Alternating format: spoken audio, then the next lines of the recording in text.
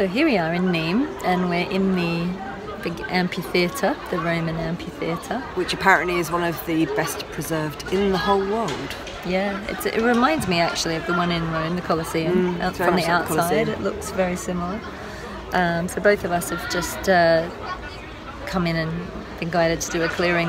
Especially as this was built 2,000 years ago, so pretty much around the time of Mary Magdalene and Christ. It was it was finished, I think, in uh, it was about 2000 AD, wasn't it? I think Something like 2000 AD. You might be able to hear. not 2000 sound- AD. We're 2000, 2000 AD. BC. No, 2000 years ago. 2000 years ago. Anyway, So what- about 18 BC. Whatever, I think it 2000 was years ago. finished. And it was Julius Caesar that had come over, and it was, or it was his son Augustus. And who knew that actually this part of France was part of Rome at that point? It was, and they they named it a colony. yeah. So Rome had a very very extensive reach at that point. You might be able to hear the clash of swords and kids screaming. They're actually teaching kids how to sword fight. I mean, it's still going on today. Teach kids kids about killing each other. No. But we've both been guided to sort of tune in and do a bit of a, a, a clearing. Clearing. So we're a bit knackered. We've been at this all day. We're a bit like, ah, now when do we get to go and have a glass of wine and like chill out? So Laurie, what did you what did you pick up in here? Yeah, well, we've been listening to the recording and I hadn't realised that actually this part of France was part of Rome back in the day. Uh, this was built about 2,000 years ago. So obviously part of our tour is, is working with the time of Mary Magdalene and, and Jesus being around in this area. And so this building was constructed exactly at that point. And we just knew that we had to come in and clear some energies. Obviously, this is a space that was devoted to human suffering and entertainment through people killing each other, which, even to this day, every TV program that you watch nowadays is about someone's been killed or is killing somebody, and it, it hurts my head that that's what we are amused by. But here, it was so blatant because it literally was people being pitted against each other. And one of the commentaries talked about the fact that they had to test the weapons to show the people who'd been waiting all day that these weapons were ready, which meant that they were really, really sharp. They were and sharp deadly. and deadly. Yeah. And so just the idea of men having to come in here, men and animals actually, having to come in and be pitted against each other while people cheered on and thought that that was entertainment. I mean, it's just uh, people suffering and, and hurting each other, just ridiculous. So I tuned into the energies that were here and there were layers. So there were those that died feeling confused and in fear, huge amounts of fear, and so souls got stuck. Then there were the ones that died feeling guilty, the ones that had actually been, they'd had to go into anger, they'd had to go into kind of rage because it was, mm. as you said, it was kill or, kill or be killed. So they had no mm. choice, they just had to do it. But guilt uh, for the survivors, so that then when they died, they carried that guilt with them and would potentially have been stuck here.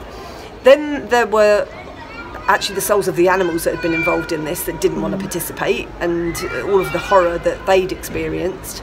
So I cleared all of those layers. Then it was the participants, it was the bloodlust and the bloodthirsty audiences of all ranges, from the rich and the poor, whose souls had somehow become entangled or had picked up spirit attachments, who then meant that they were attached to the arena as well. And then the final level was this really dark, really murky, horrible. It was almost like a serpenty energy that had been feeding on the blood because they kept turning the sand over to, to mask the smell and to, to try to hide the, the, How the is blood that flow. entertainment? It's gross. Imagine in the hot sun. Yuck. Uh, anyway, this thing had literally been feeding on the energy, it had been feeding on the fear, it had been feeding on the literally the blood that had been coming in here, and that was pretty disgusting. And so I had to literally draw that up out of the earth. And then, uh, of course, I had to. You know, part of it is forgiving all of these souls, forgiving them because they were just doing what they thought was normal. Forgive them and send them home to the light. Just mm. bathe them in light and send them home. It's enough, you know. And then there was a contract that was linked to entertainment via human suffering, mm. which if you figure it's still going on all over the world now and as i said entertainment mm. seems to be all about that every other show is a, a, a murder show It is. Machine gun fire coming Yeah. through the screen, Yeah. and even though they'd call it acting, I mean, it's still it incites violence. It Yeah. incites people to want to go And- out exactly the, i- the idea that it's not implanting it in the consciousness that all you ever watch is people murdering each other in some form or another just hurts my head really it's just ridiculous and in fact, there's more violence and murder on TV than there are sex scenes. Sex is Yeah. actually more prohibited. Yeah. And funny that, because sex is actually sacred and pleasurable and, and usually based on love. So they call it, oh, you know, they, they say that it's not uh, appropriate, yet Yeah. they'll have people lopping off each other's heads and, I know. and uh, have shoot 'em ups and car chases. so the new contract which it will be received by those who are ready and want to receive it was about human experiences and it was it was more about love and humor and comedy which why isn't that entertain why isn't that the basis of our entertainment I know, it's like, hu- like harmless fun It's much better. Oh, thank you, Laurie. My arm's getting sore holding the camera. Um, well, I tuned in and uh, straight away I got a beautiful lion, like like a huge spirit lion that had obviously been here for quite some time and was possibly a, a bit of a guardian. Um, and so he kind of came in and was like put forward to my forehead and then went off into the light. And then I got shown a past life that this one and I had had as. Uh, two men, two gladiators, two slaves, really, that had come from different countries, so we couldn't speak the same language. One felt a bit kind of Greek or Macedonian, I don't know where the other one was from. Um, and the, it was the idea that you had to disidentify with the humanity of the other person in order to kill them because it was kill or be killed. Um, and this goes on, on in the world today, on the world stage, still in wars. And this is a, a, a huge big contract that you have to step on somebody else in order to succeed, or you have to kill somebody else in order to succeed and survive. So I had to clear all of that. Um, it's obviously uh, between us, but then it was also for the collective. So it was it was all about you know kill or be killed. Um, there were so many other bits to it too, but that was sort of the main gist of it. So I'm glad I don't have to kill you now. no, well, this is the thing. This is what we're here to do to clear. So obviously, we'd had a, a contract in that life to understand what it was all about. You know, to to actually be part of it, and Yeah. presumably now we're here to uh, to release that karma, working together as and as women as well. Yes, you I know. Very. And again, with the whole time we've been here, we've been guided by Mary Magdalene, and it has all been about love, hasn't it? And it's been all about the truth. So we're going to carry on exploring. If we find anything else, we shall keep you updated.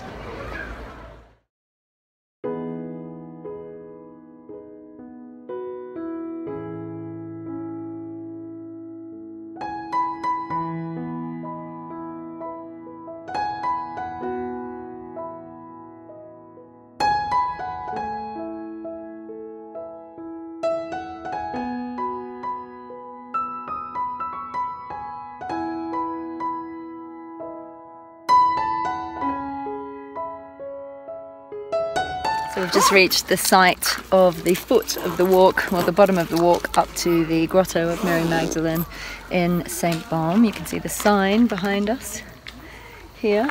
Um, we're not sure how long it's going to take. I've read various things that say it takes 45 minutes, but we've got a message that it's ready to- not actually going to take that long. So We're going to hike, and uh, I've just in my in my you know little bit of French that I have just also other people that are walking in the area, and uh, they have assured me that it is it is this way. So uh, yeah, we've been kind of driving. and we're wearing gold and silver shoes in her honour. Yeah, to do the hike. As so. only ladies would do on a hike. I actually wore these gold shoes hiking the Atlas Mountains recently, so I know that they can do it. so we'll let you know what we find. you know what's at the top.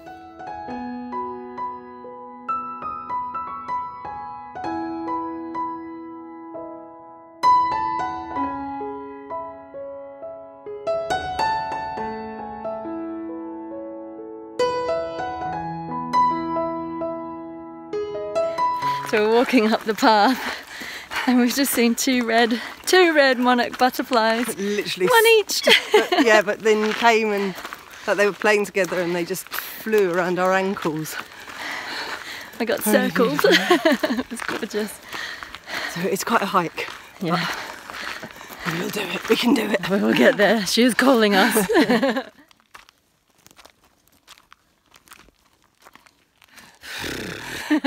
We're still climbing. Still going. Still going. Got a way to go, we think. Very much uphill. But a little bit like months ago, it feels like it's meant to be because anything that you do that's worth it requires effort. So Yeah.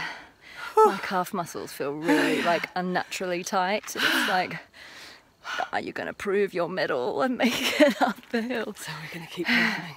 Keep Okay. going. Onwards, Keep going. onwards.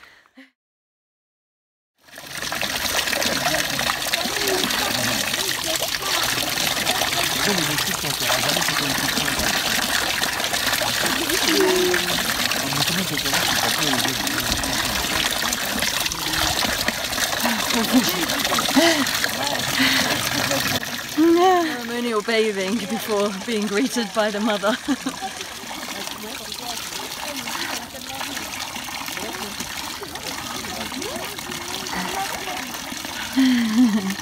Feels good, Larry. It's cold. Onwards with the journey. We've come at just the right time because there's a lot of people leaving. I'm wondering if there was an early morning group or something or a mass said here.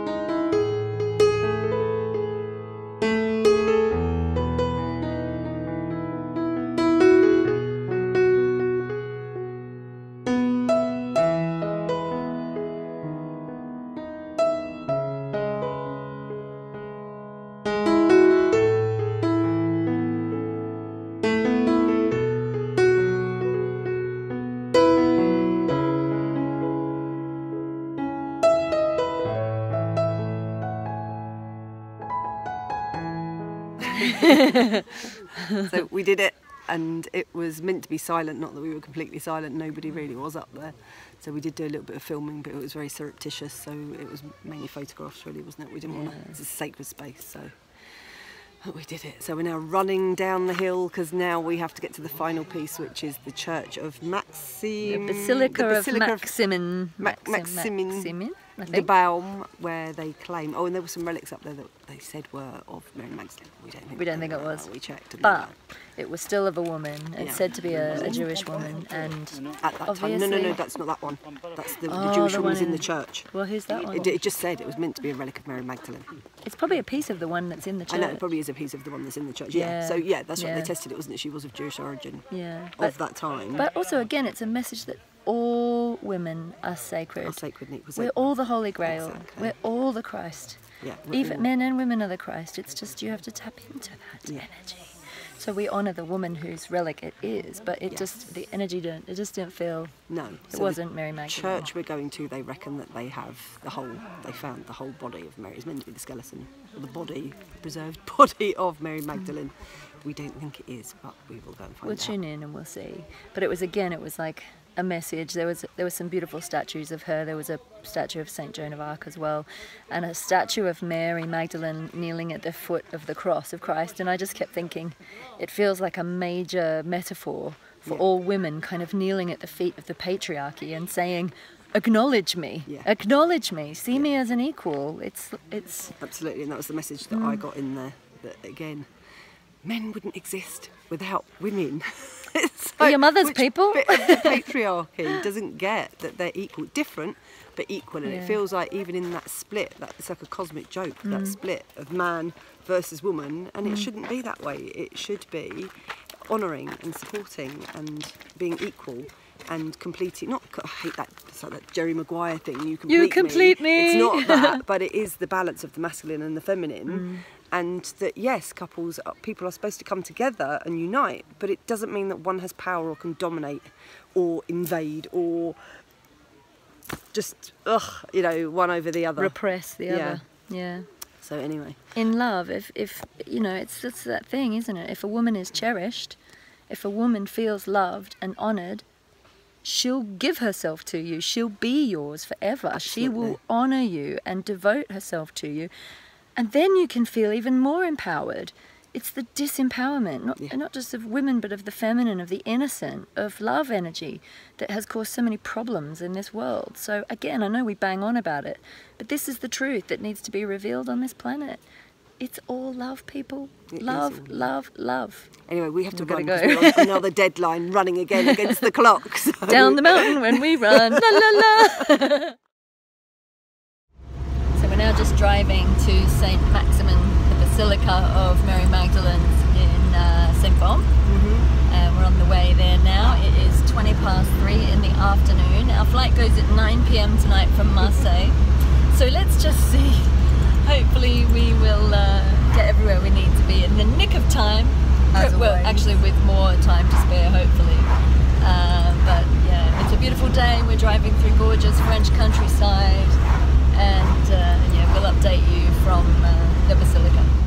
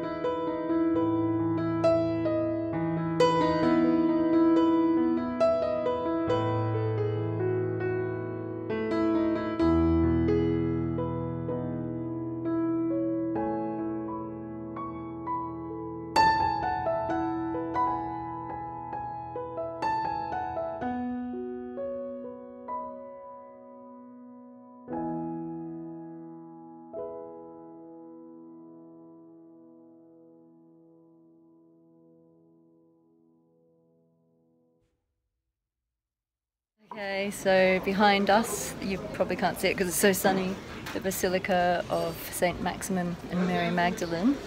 And uh, we went down into the, the reliquary where her bones are said to be to find a, Skull. a very nice black skull who, I mean, she's always depicted carrying a black skull.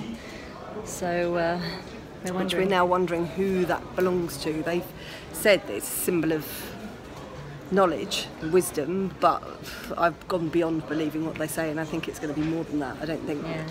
the whoever the masters were that started those paintings, the symbolism was multi-layered. So I'm now questioning who that was meant to represent, and we're not we weren't convinced before we came that it was her. I'm still not convinced No, that it's I her, don't but I do her. think it was someone connected to her.